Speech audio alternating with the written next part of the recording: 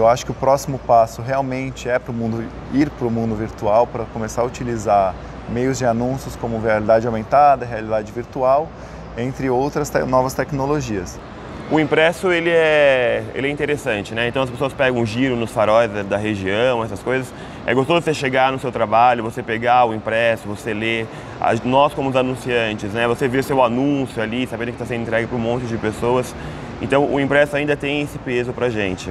A gente conversa a respeito do giro com outras pessoas que também são empreendedoras e a informação que eu tenho sempre é a mesma, né? Que é uma competência muito boa, uma credibilidade que o Giro tem no mercado sobre falar a verdade. O Pátio Osasco anuncia no Giro há muitos anos já, é uma parceria duradoura aí, né? A gente sabe o quanto que o Giro ele enriquece na região toda aqui de Osasco, Alphaville, nesse entorno, entorno todo.